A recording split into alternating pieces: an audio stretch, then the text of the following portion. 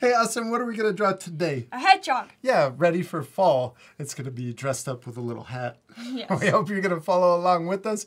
You need your drawing supplies. We're going to use a marker. You also need, Paper and something to color with. yeah, you ready to start? Yes. Let's first draw our hedgehog's nose right here in the middle of our paper. I'm going to draw an oval.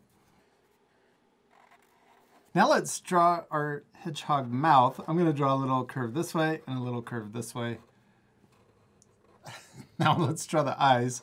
I'm going to draw a circle on the left and also on the right side. Then we can also draw a little highlight or a small circle inside and then color in the big circle, but leave that little one white. That makes the eyes look shiny. Yeah. And then we can repeat that same step on the right side, color it in. Yeah, that's cute. Okay, now let's draw our hedgehog ears. I'm gonna draw a little upside down U there, and another one over here on this side. Then in between, I'm gonna draw a curve that comes down in the middle, over the nose, and then back up and connect to the ear on this side. Yeah. And then connect right here into the ear. Oh. Just like that. yeah. You did it. Okay, now let's draw the body. And we're going to draw a really cute body. We're going to come down like this. And we're going to curve around a big U shape. Kind of looks like a pear. Mm-hmm. And then we're going to connect up to this ear. With the face. Yep, with the face and ears. Yeah. There you go. Keep going. Around and connect to the ear. Now let's draw the arms. We're going to draw a sideways U shape on the left. And then repeat that same U shape but going the other direction on the right side. Now let's add two little lines for the fingers on our hedgehog paws. Yes, you know what I'm going to do? just for Hadley and Olivia, but you could leave those off. now let's draw the feet for our hedgehog. I'm gonna draw an oval shape over here on the left and also an oval shape on the right. And I kind of tipped them too, so they're diagonal. Yeah, and then we could draw two more toe lines on each foot. What's our hedgehog missing? It's spikes. Yeah, it kind of just looks like a potato with a face or a pear. Let's try let's draw the spikes on top of our hedgehog's head. I'm going to draw a little curve that comes out of the ear on both sides. Almost like we're going to connect it over to the other side. And then let's draw spiky little zigzags on top and connect in between. That looks like the hair. Yeah. Now let's draw spikes coming down on the left side. I'm going to draw a curve coming down, and then we'll draw a little zigzag up, and repeat that step all the way down.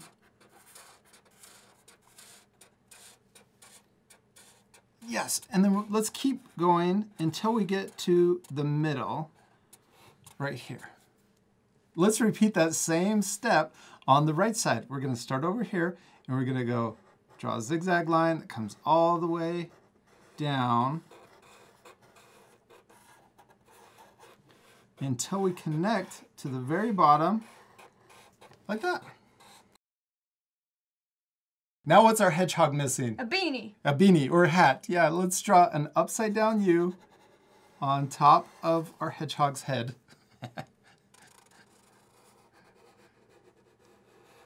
and then we could also draw a little pom-pom on the top. I'm gonna draw a zigzag. You could just draw a curve to keep it simple. Oh, and then sometimes the bottom of the beanie or the hat is folded, so we could draw the bottom. what else should we add to our drawing? Some leaves. Some leaves, yeah, so it looks like fall. I'm gonna draw the stem first. Right here, we could draw a curve. And then let's draw a V shape at the very bottom. And these are the same steps that we did in the sleeping fox for our leaves. I'm gonna draw two little zigzags and then curve up to the top. A little curve up to the top. And then on the other side, draw two more zigzags and curve up to the top too. That's one way to draw a leaf. Let's draw another shape. I'm gonna draw another curve for the stem. And then this time, let's just draw an oval shape. Let's draw another type of leaf. I'm going to draw the curve this way. I think it's fun to change the directions of our leaves.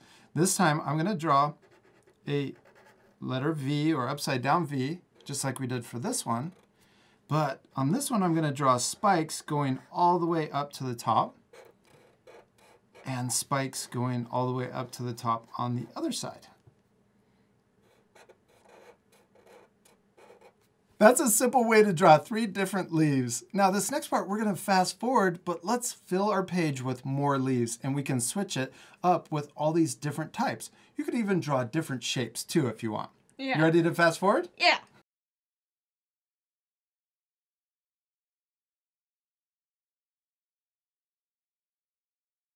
I like all of your leaves. It looks so much better when we fill in the paper. Yeah.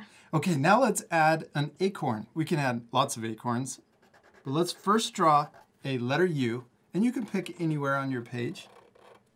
Then let's draw the top. We'll draw a line to connect. And then let's draw an upside down letter U, or kind of a rainbow line for the top, or the cap.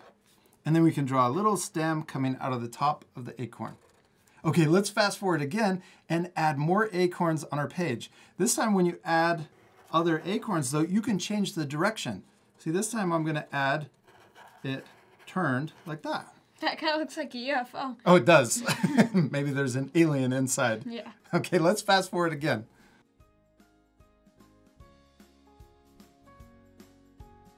Oh, awesome, we did it. We finished drawing our cute little hedgehog. Except we still need to color it. Yeah, this part will fast forward, but at the end you could pause the video if you want to match our same coloring. Or you could color it any way you want. Yeah, you ready to fast forward? Yeah.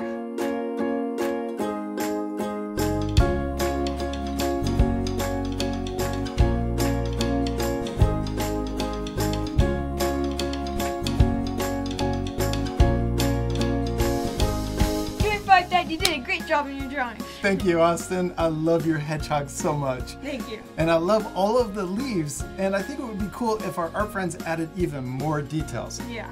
I added a little cup. Maybe it's full of hot chocolate.